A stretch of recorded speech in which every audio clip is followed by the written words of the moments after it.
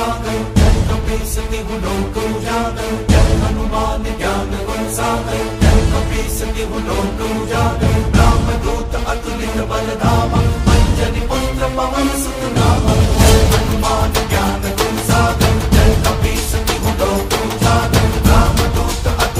जय